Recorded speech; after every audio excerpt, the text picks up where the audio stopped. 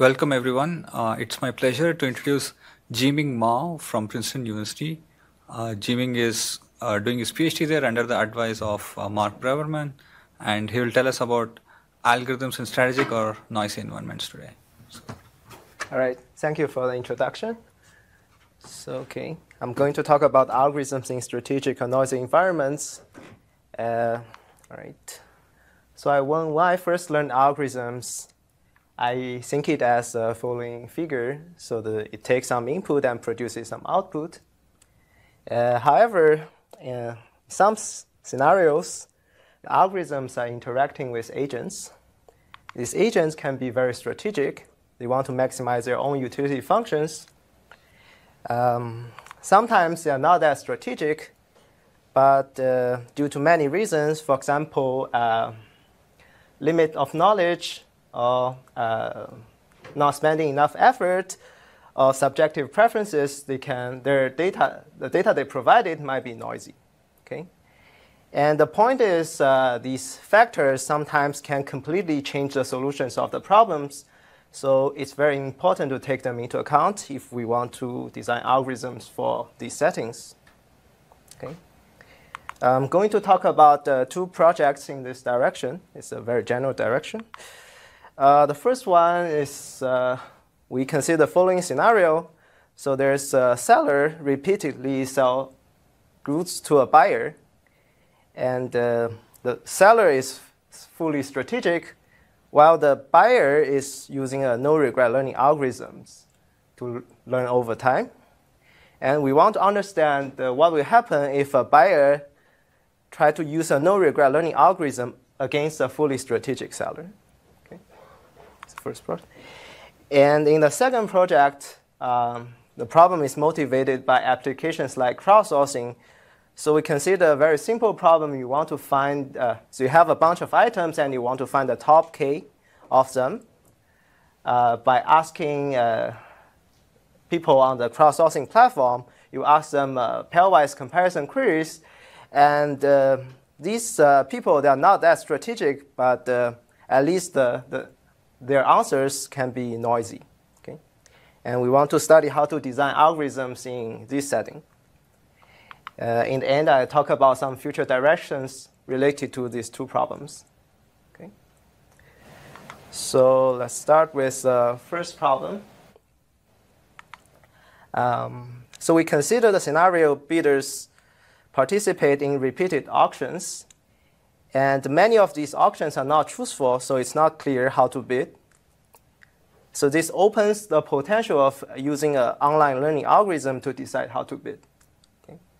And there's some evidence by this paper showing that bidders' behavior is largely consistent with uh, no regret learning.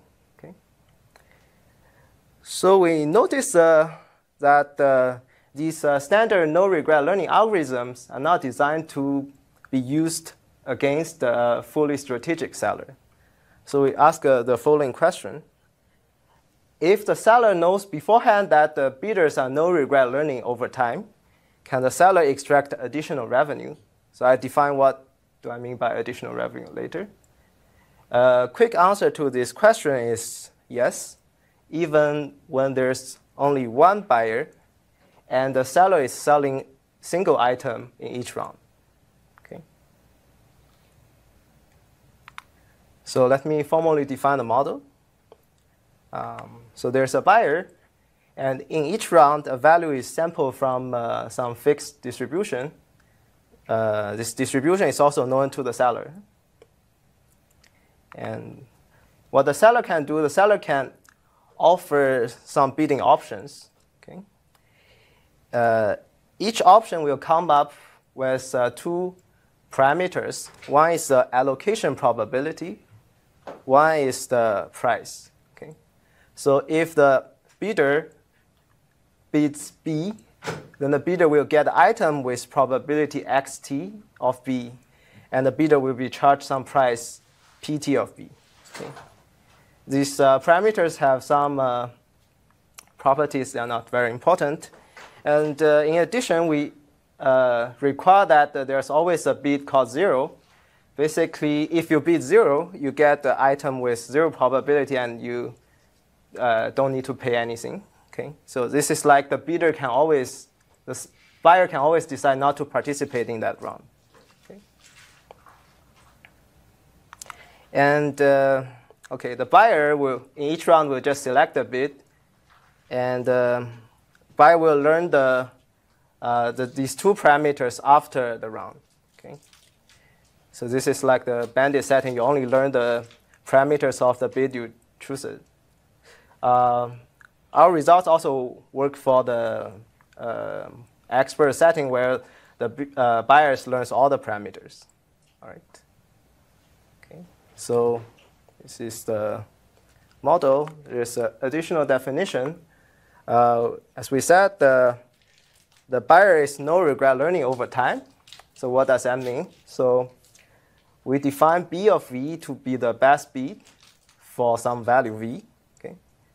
So, so here in the in the here, uh, this term is basically the utility. So it's a value times the probability you get item minus the price you pay. Okay.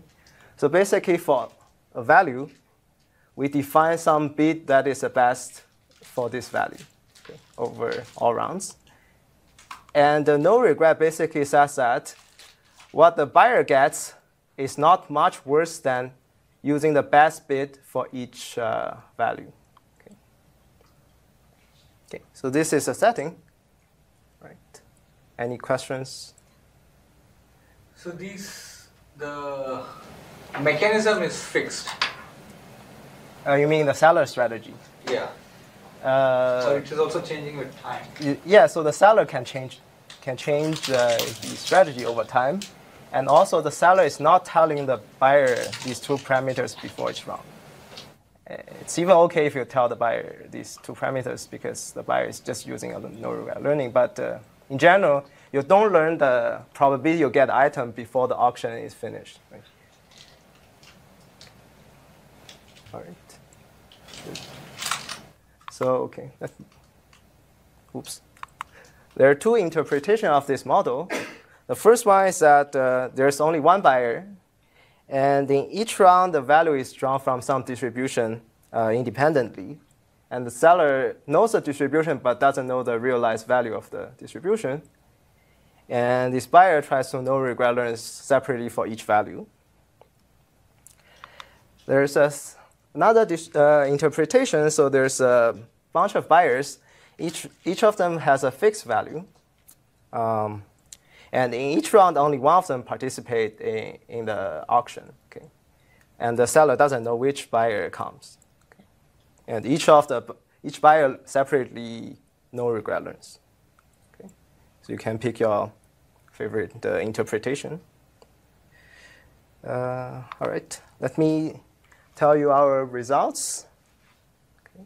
So uh, we first show that if the buyer is using some uh, standard no regret learning algorithm, like EXP3, uh, actually we, we basically define something called the mean based algorithms. As long as the no regret learning algorithm is in this category, the optimal seller revenue is uh, the full expected welfare.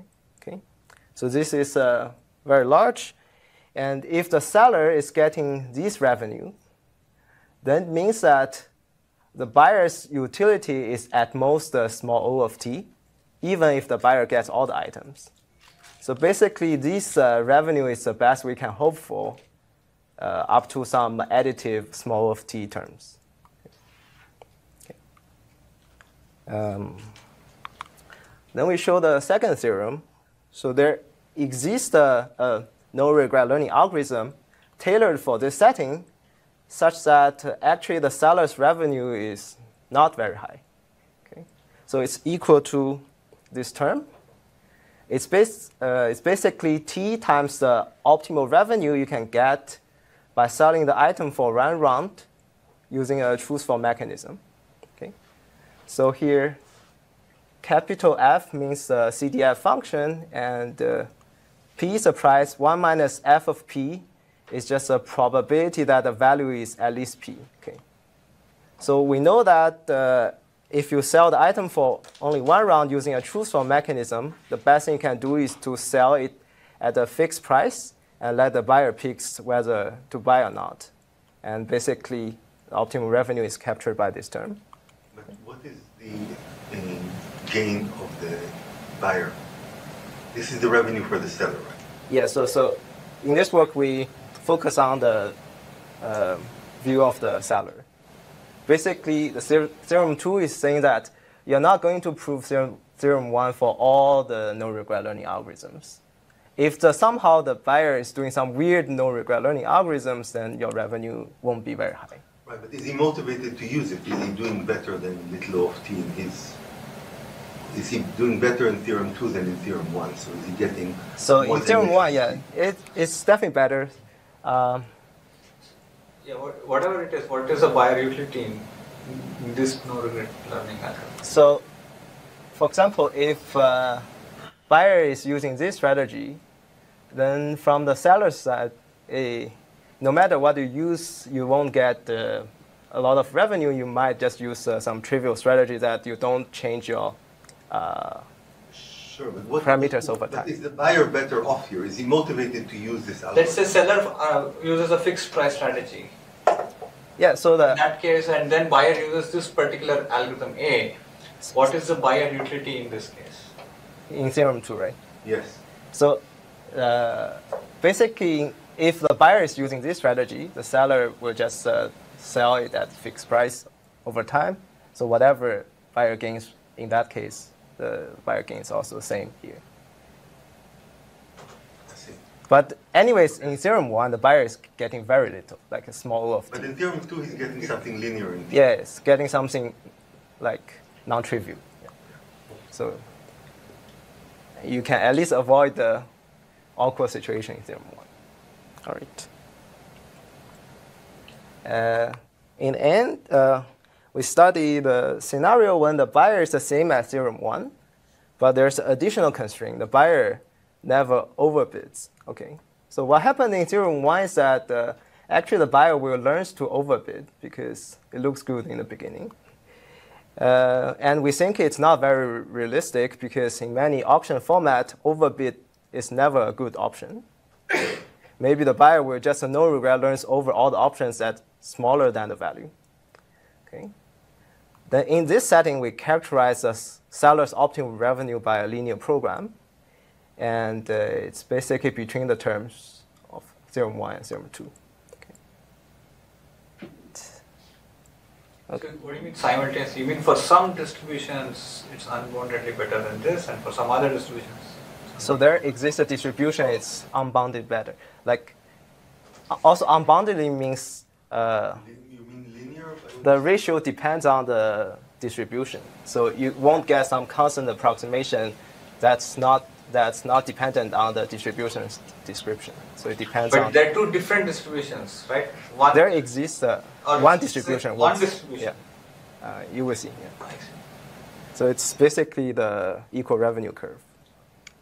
So theorem three says that if you never overbids, theorem two will not happen. Like I don't, I don't parse all these. Theorem one won't happen. Theorem one. Yeah. So if uh, bidder never overbids, theorem one won't happen but the bidder is still using a mean-based algorithm. Uh, yeah. So you can still get some revenue better than the trivial one. All right. So, so now how should I understand all these three theorems together? Because you, you said in the motivation that like like buyers will use some no regret algorithms. Yeah. So do they use the one in theorem two or one in theorem one? I would think like if the buyer so since the buyer is using a no regret algorithm, probably the buyer will simply use something like theorem one or maybe theorem three. But theorem two is for like illustrating that you won't prove this thing for all the no regret algorithms. Because once a buyer tries to reason about the strategy, maybe the buyer will do something even more smart. It's not clear if the buyer will still use a no regret learning algorithm or not the, maybe the buyer will use this one because no regret learning algorithm works well if the seller uh, strategy is fixed over rounds. So maybe the buyer will use this. Yeah, not exactly. The buyer should use. Yeah, if the actually if the yeah, if the seller strategy is fixed over time, the buyer should use a no-regret learning algorithm. Uh, pretty So good. what you're saying is the what no regret learning algorithm matters. Which one matters? That's the Yeah. message. Yeah, It's not not all of them are same. Yeah, um, so my yeah, the point is that if the buyer doesn't think too much about the scenario, just uh, pick a no regret algorithm, blindly use it, then maybe it will result in something bad. And if the buyer thinks a little bit more, then at least the seller won't get the good revenue, and the buyer will be guaranteed something. All right.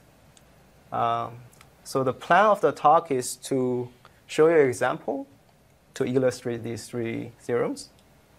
Okay, so it will be a specific distribution. Uh, it's very simple. There are three values. It's one quarter with probably one half, one half with probably one quarter, and one with probably one quarter. Okay. So the optimal one-shot revenue in this case is one quarter. For example, if you sell at price half, uh, the buyer will pay with probability half so you will get the revenue one quarter. And the expected uh, value of this distribution is one half. Okay, there's some gap between these two values. Okay. Um, so first, as a sanity check, I want to show you that there exists a very simple strategy for the seller to guarantee at least a one-shot revenue. So at least a one quarter in this case. Uh, so basically, the seller just uh, uh, set two bidding options. One is uh, charging the optimal reserve minus epsilon. So it's like optimal fixed price for the one-shot uh, mechanism. So in this case, it can be one quarter, one half, or one. And uh, I do this uh, minus epsilon because uh, so there's no problem of uh, tie breaking. And if the bidder choose this option, the bidder always get the item. And there's a zero arm. Okay. So th- notice that this strategy doesn't even change over time. Okay. And what will happen to a no regret buyer, if the value is larger than this reserve, uh, the buyer will learn to play option one. Okay, will mostly play option one. Otherwise, uh, the buyer will get a lot of regret of not playing option one. And similarly, if the value is smaller and the reserve, the buyer will learn to play option two.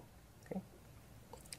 So um, in this case, the seller can at least get uh, this uh, one-shot revenue. Okay.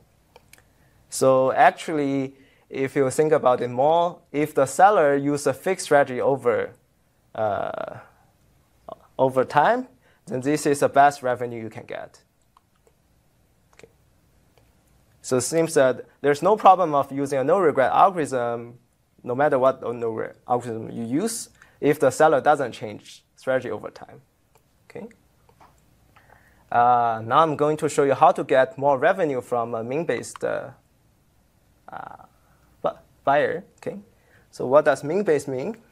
So it means that uh, in each round, if there's an option, an arm that has average utility over all the previous round, much larger than all the other arms, then this mean-based algorithm has to uh, choose that strategy, choose that option with a very high probability.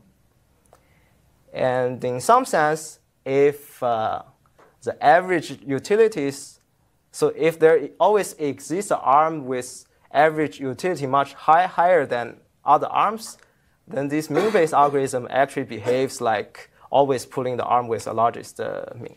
Okay? So in this talk, you can just think it as uh, always pulling the arm with the largest mean. All right. And uh, recall we show that if the buyer is using this strategy, then we can get the full welfare. Okay. So now I'm going to show you the strategy. This strategy uh, does not get one half, but at least get something better than one quarter times t. Okay, so there are only two bidding options. One is a zero bid, you don't get item, pay zero. Uh, the second one is you bid one, and you always get item. Uh, but in the first half, you pay zero. In the second half, you pay one. Okay, so this is like in the first half, it's like a free trial, and in, in the second half, I ask you to pay money. Okay? So let's see what will happen with this strategy. So when the value is one quarter, um, it's definitely good to be zero in the first half. You gain one quarter in each round. Uh, in the second half, you lose uh, three quarters in each round, but you will still beat for like t over six rounds because uh, the average utility of bit one is still better than bit zero. So you will not uh, uh, immediately switch from bit one to bit zero. You will switch after t over six rounds. I, I, I don't understand something. So, so the arm, when when he switches to this uh, charging half, Right. I mean, this has to be announced, right? The, the, the It's not announced. That's a point. So if you participate in an auction, right, I won't tell you how I change my reserve price. You will, you will see the result after you bid something. okay. So that's, uh, so that's why the bidder is using no regret learning. Yeah, but in what sense it's the same arm? So suppose I bid one and I get the item for free, and I did it many times. Now I bid one, and uh, you know, I, and I'm, I'm charged a half suddenly. So I don't view this as the same option as bidding one and getting it for free. So I'm not going to. Why, I mean, you're Uh, thinking of this as the same arm, and it has this wonderful weight from t over two steps. But now it's It's the same action, right? Your action is bid one or It shouldn't be viewed as the same action. It's, it's, it's really new because So I guess it's problematic if yeah. just in this round I charge you like infinity amount, right? I only charge you, my, my charge is bounded, and you can still learn over time. So like, Okay. what you're losing one round is not a big deal. And also like they, they did, the, I mean, I, I, you can change the I result. You're going to uh, So the, the the no regret is- assumption is that the process is stationary, whereas it's not. Okay, sorry. I, I guess another way, if you can change the price like gradually, maybe that makes you feel better. no, Uh, okay. So the other complaint about this, this is that it depends on the horizon t.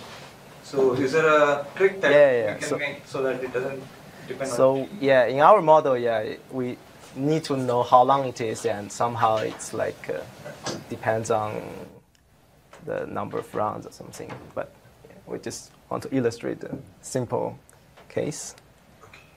Um, all right. And if your bid is, uh, if your value is one half, you will just uh, bid the one from the beginning to the end uh, because it's always a better option than bid zero until the very end. But in the end, they are the same. Okay. If your value is one, you will also bid one till the end. Okay. So let's uh, calculate the revenue. Uh, so if your value is half, uh, is one quarter, you're paying for t over six rounds, and uh, one quarter happens with probably half. So you get revenue t over 12. And you can do the same thing for the other values, and you will get t over 3, which is larger than t over 4. Okay. So what, where did the additional revenue come from? Uh, one way to think about it is that if you look at the, this bit 1, it's on average it's charging you half. Um, so it makes sense that value 1, value half, will choose it.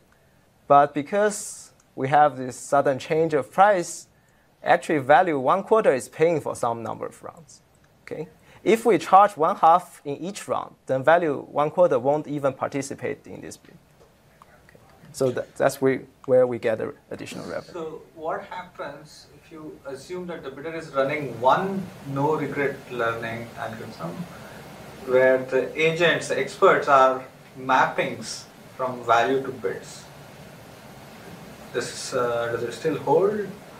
You're assuming there's a different no regret for each value, but suppose there's one regret, one algorithm, and Yeah. actions are functions from values to Right. bits. So I think when so so you can think this value as context or like contextual bandit.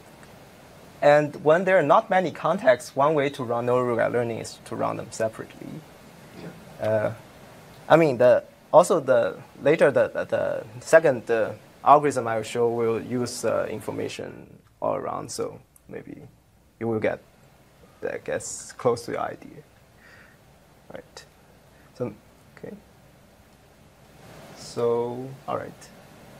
Uh, see the second result. We show that there exists a tailored learning algorithm that uh, prevent the seller to get uh, additional revenue. Okay. So what's the algorithm? It's not very different from the normal no-regret learning algorithm. You still run the no-regret learning over all the possible bits, but also some meta arms. So meta arm bj means that you beat what, what you would beat if your value is, uh, is vj. All right. So we show the theorem saying that when buyer uses this algorithm, then the uh, optimal revenue will be small. Okay. So here's some uh, intuition why this will work.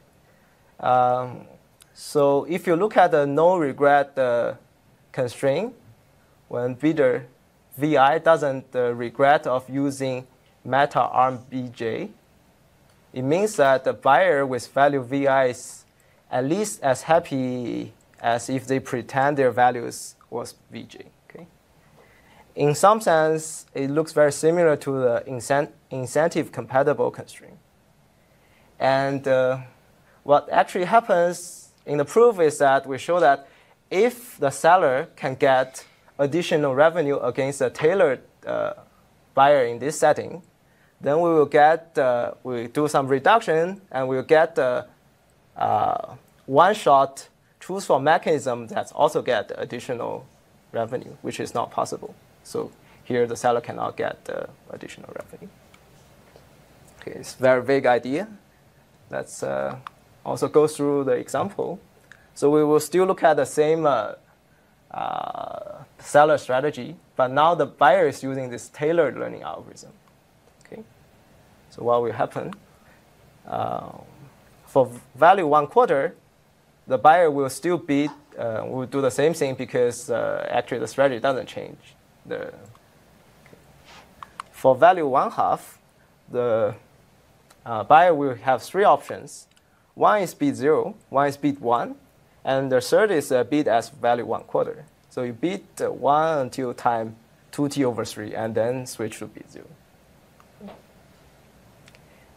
And uh, what happened is that now for value one half, this is uh, always a best strategy. Um, it some, sometimes have tie with the bit one, but uh, it's not a big deal. All right. And let's see. And uh, for value one, we just upper bound the revenue by t over two. Okay.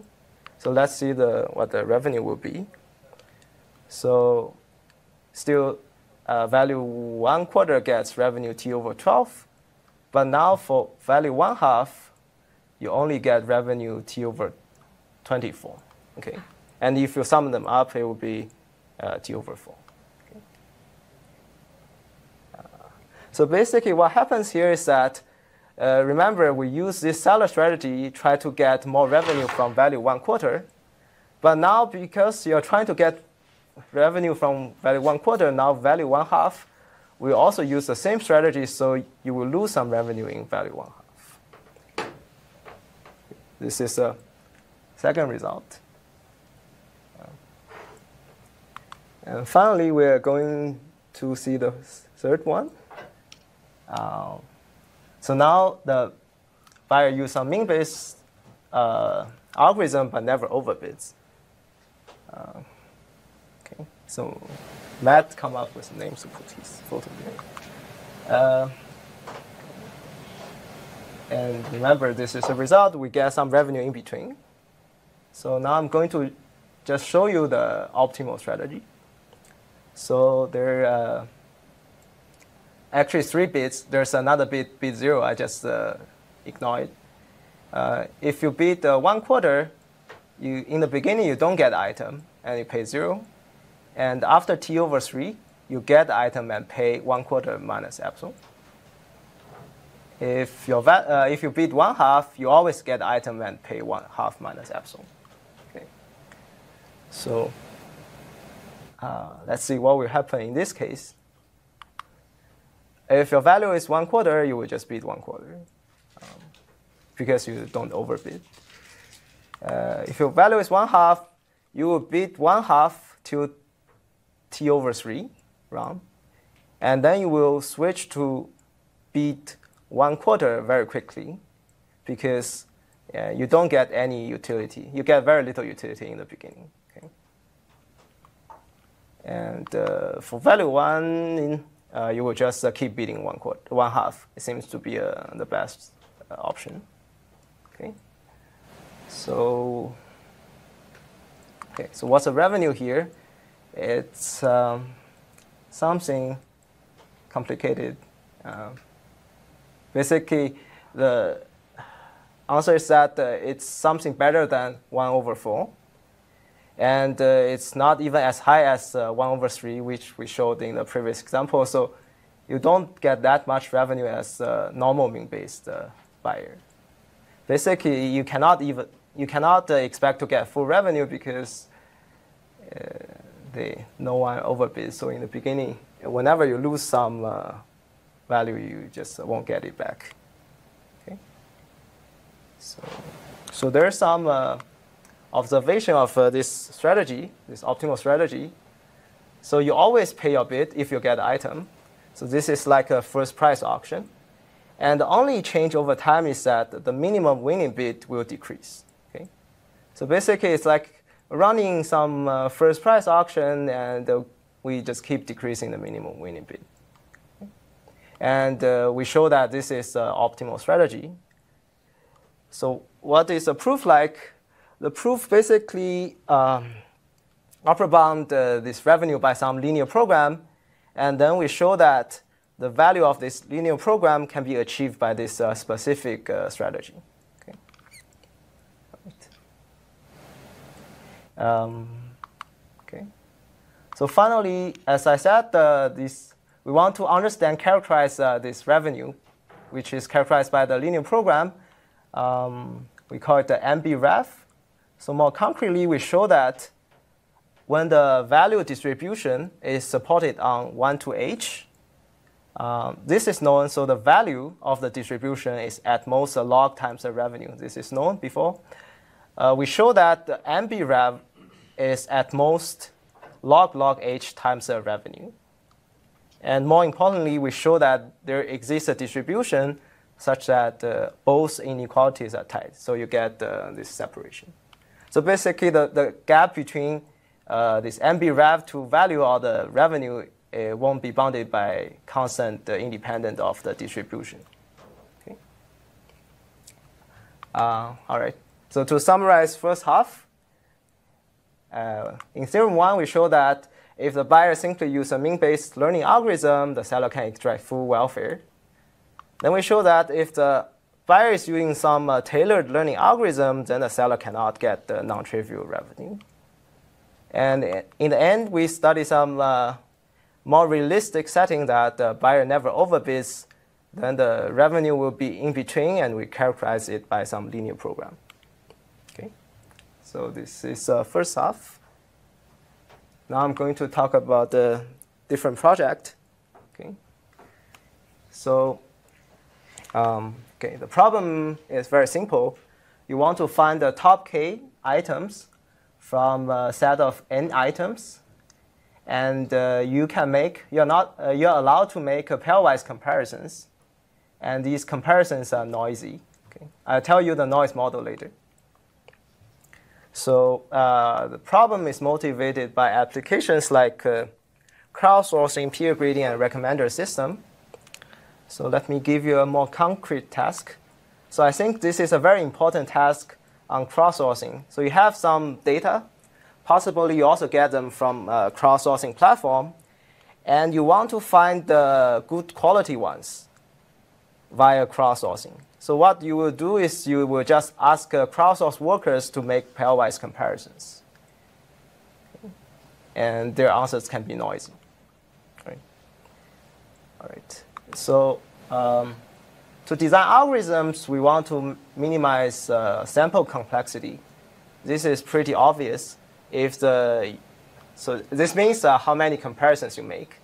So it's pretty obvious because it's directly related to how much money you need to spend on the crowdsourcing platform.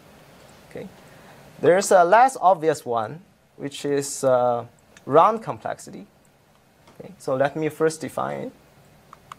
Um, so can you can you please define what is top k item mean in this case? How do you define this? so yeah, so let's say you have n items and they have already an underlying order.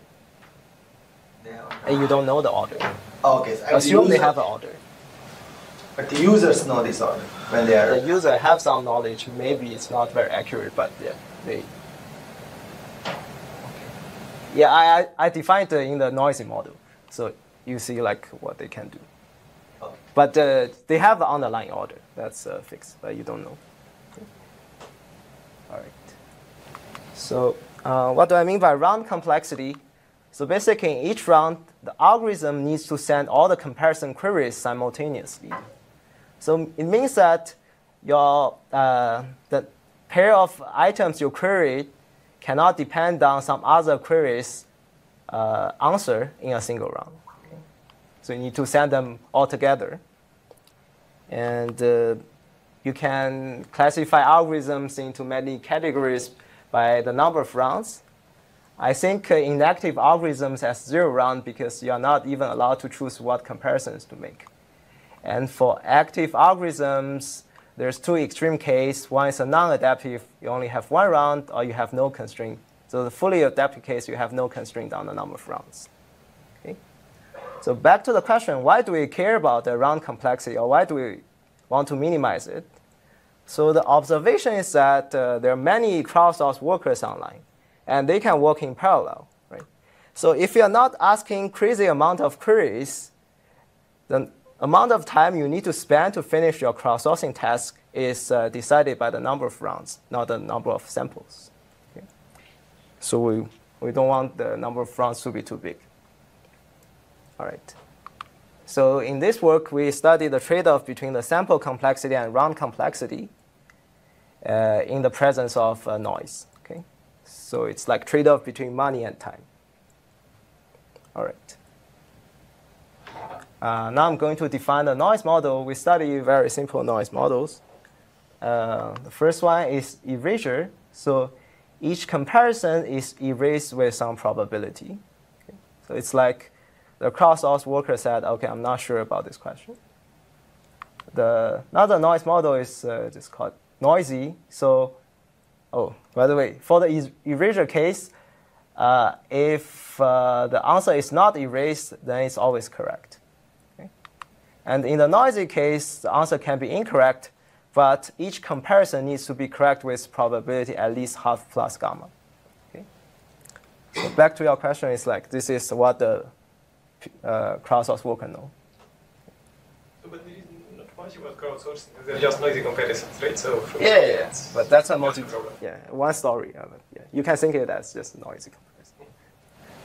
But I guess uh, now people like crowdsourcing. It's also useful. Um, all right. Like just, I mean, it feels like it should have been looked at in the yeah. 80s but, or 70s. But the rounds, so it was looked at a lot, but the but the point of view of rounds was not looked at until the last years. Yeah. Actually, I'm just about to talk about some related work. Um, so there are two very related ones. The first one is uh, uh, so they uh, by Bollobás and Brightwell. They study exactly the same problem. They want to find the top k, and they study the trade-off between sample complexity and round complexity, but they did, did not study the noise. Okay. Maybe they don't get the crowdsourcing to motivate the problem. Uh, there's another one that's also very related. Um, they study top K and also some other similar problems. They actually study the case with noise, and uh, but they did not consider the round complexity. And uh, yeah, at that time they were motivating the problem by something like NBA tournament, but now we can talk about crowdsourcing. All right. So now I'm going to talk about the results. What was the motivation for Bollobás and Brightwell for this? So they basically want to just uh, find top k. I don't know what, but they in a parallel like uh, computation. I think voting rules also. Okay. Actually, yeah. Also, they use some graph theory. That's very interesting. All right. So here's our result. First, we look at the one-round algorithms. Um, we show that they perform pretty badly. So sometimes you are forced to use one-round algorithm because uh, time is really important. For example, if you want to use pairwise comparison to review conference papers, you probably don't want to do it in multiple rounds. Otherwise, the conference will happen in the 10 years later or something. Um, all right. So we show that if you don't spend much more than a linear number of comparisons, you have to make uh, these many mistakes. Okay? Um, so we show algorithm to achieve this bound, and we also show that they are tight. So here, uh, in the erasure case, you get the 1 over gamma, and in the noisy case, you get the 1 over gamma squared. So the quick intuition of this thing is that uh, if you... What does this mistakes mean? Oh, okay. Mistake basically means that you out something that is not in top k, or you did not output something that is in top k. Yeah, but what is So one mistake means like you output uh, one number that is not in top k, or you want uh, you you did not output a number that is not in that's in top k. So, but why there is no dependence on k? Yeah, like in our, Oh. it's you're saying that if I want to recover like top Right, right. one, So- then Yeah. Sorry. Uh, so uh, in our work, we assume that k is like uh, theta of n, and also n minus k is also theta of n. So like, you want to output maybe top half, maybe just for this talk.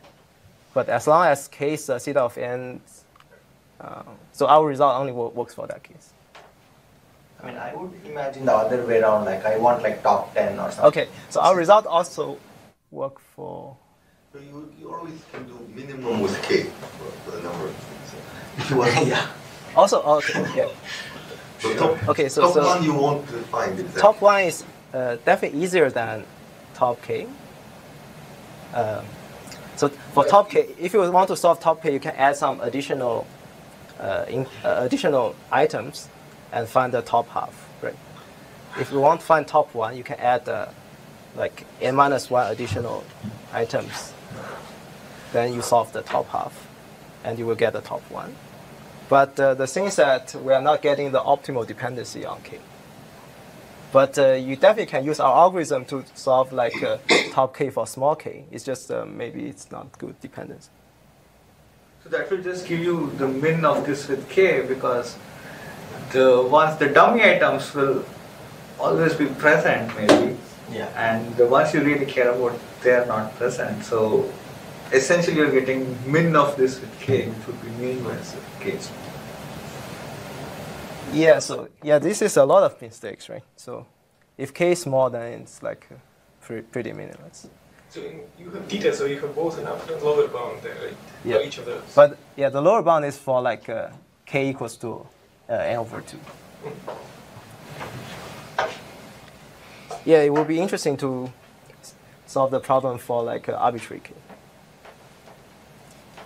All right. So this is a one round result. Uh, and then we study the case for multiple rounds. We want to get zero mistakes, okay, in this case.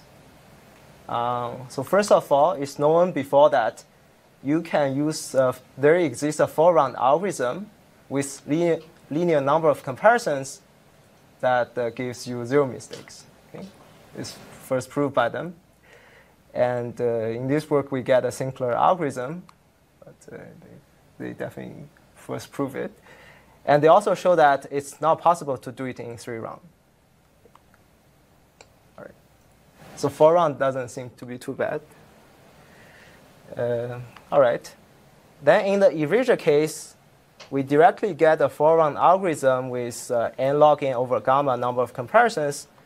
What do you do? So you just uh, use this four-round algorithm, and you repeat each query by log n over gamma times.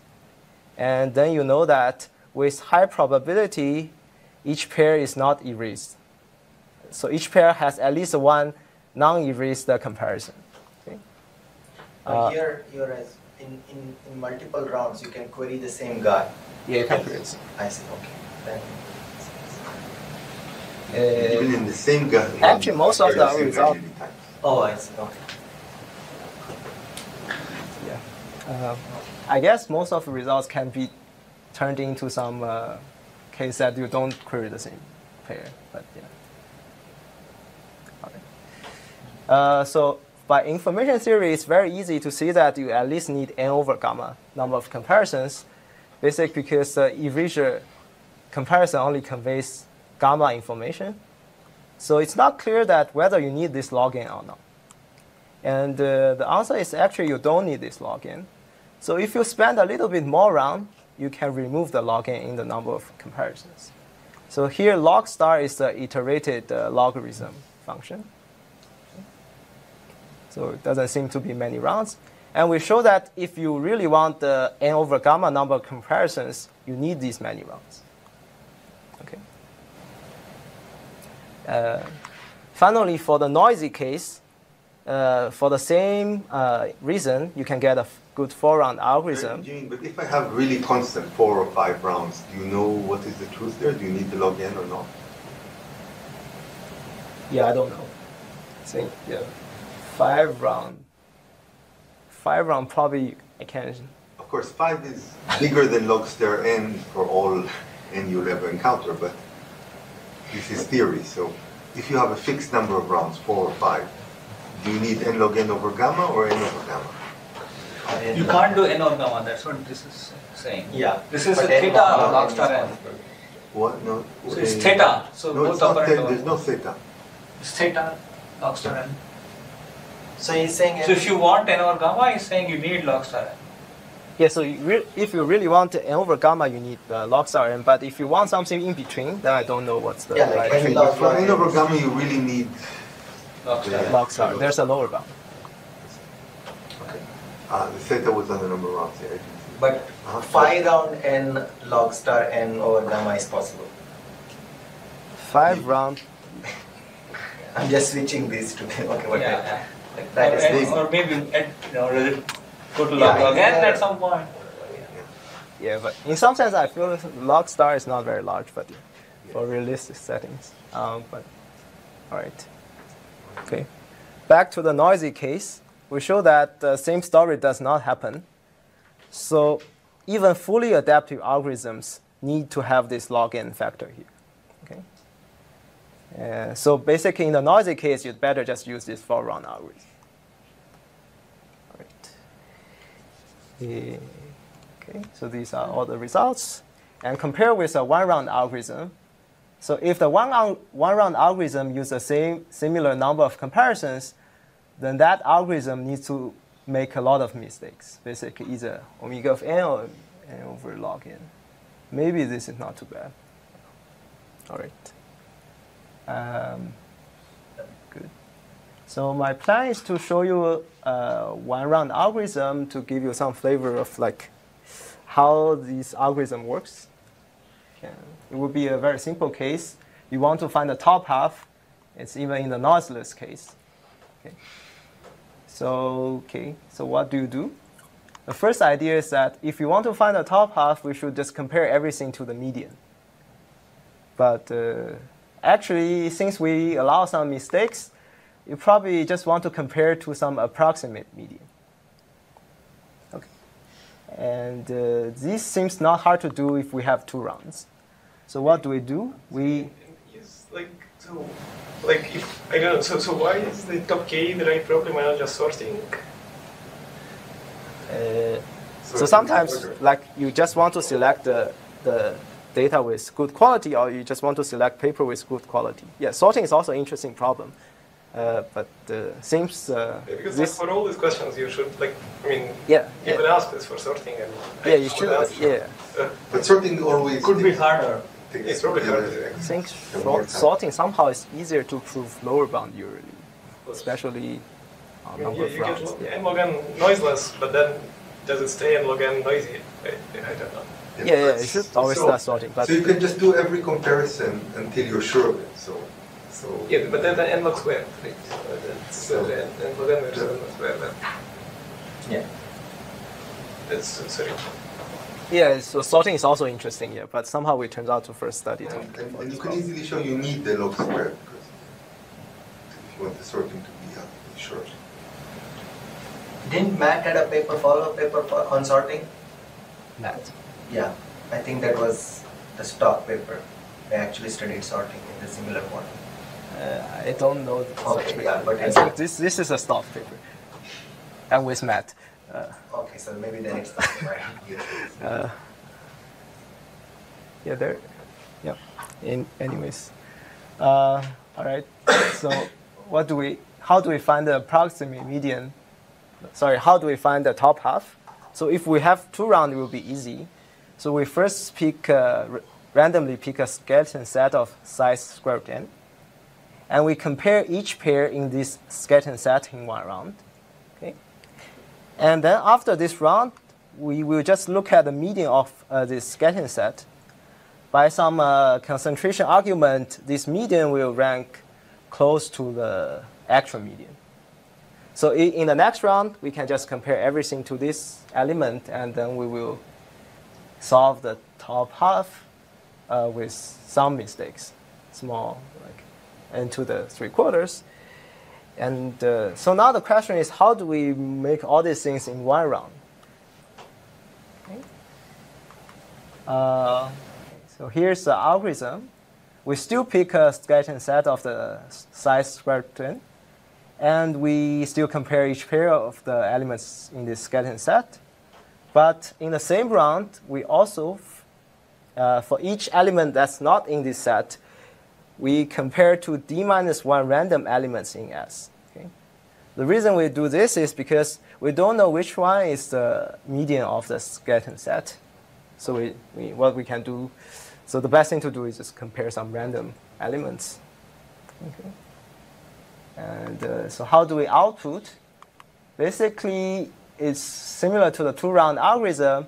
If we know that uh, for any out, uh, sorry, for any element that's outside the skeleton set, if we know that it beats the uh, median of the skeleton set, we will say, okay, it's in the top half.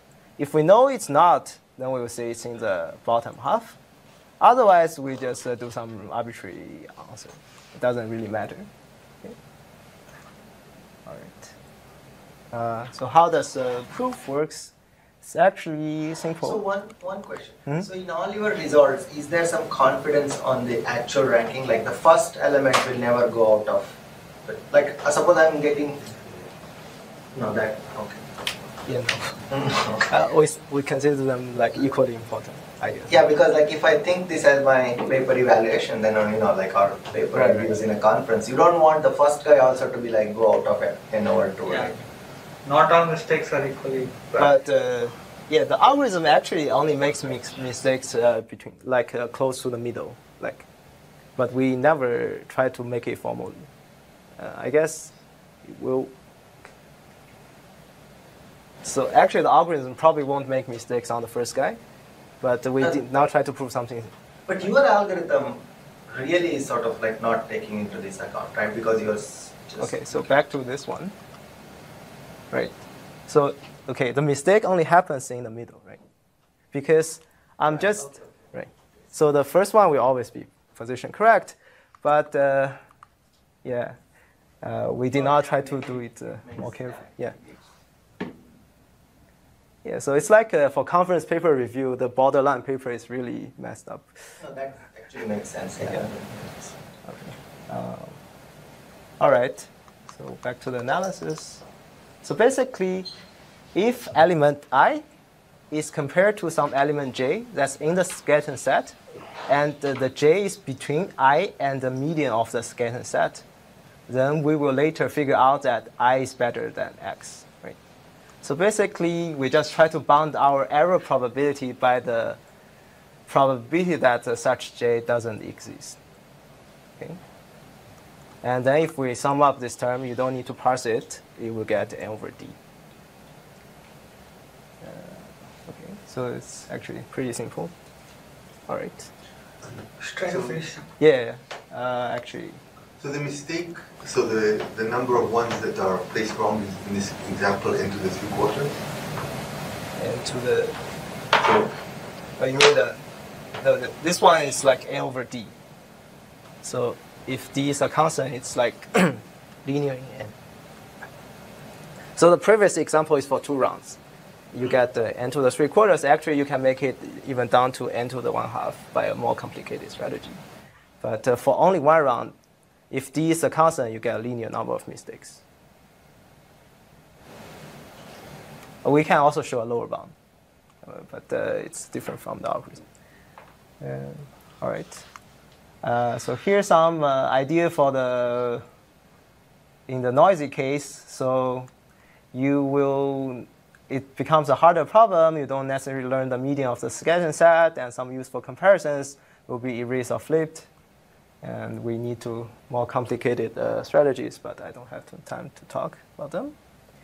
All right, so I end up with some future directions.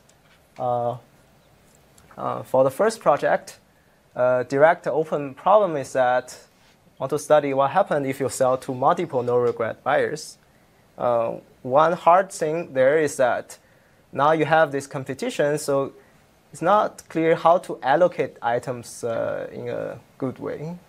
It becomes much harder than the case when there's only one buyer. And also, it's hard to study when there are multiple no regret algorithms are running at the same time. They have uh, weird interactions. And uh, okay, we study some uh, similar problem some problem in a similar flavor. So this problem is like uh, we consider a principal is running a multi-arm bandit algorithm, but the arms are strategic agents. So each arm, uh, if get pulled, will get some private value, and the arm can decide how much to give to the principal. And uh, the arm try to maximize the total sum of this uh, value they keep for themselves. Okay? And in our work, we show that in certain settings, you only get very bad negative results. Basically, the principal cannot get a lot of value. But uh, it will be interesting to get some positive results in some reasonable setting. And more in general, I'm um, very interested in the, this direction of uh, learning with strategic agents. So uh, there's more, uh, there are more like su successful stories if the strategic agent only participate in one round of the game. So usually it's easy to reason about because uh, the problem usually is just a two-level structure thing. And the problem becomes harder to reason about if the strategic agent participates in many rounds with adaptive strategies. Okay. Right. And for the second project, uh, one related problem is to study some uh, similar problems like sorting or approximate top k. Actually, I'm very interested in approximate top k. It seems very uh, close to top k, but uh, now you're instead of outputting k elements that are in top k, you are allowed to output k elements that are in top L, where L is uh, slightly larger than k. And we want to understand whether the problem becomes much easier or not. Okay. And there are also some other problems like you study more complicated noise models that are like more close to humans' behavior. All right. All right, thanks.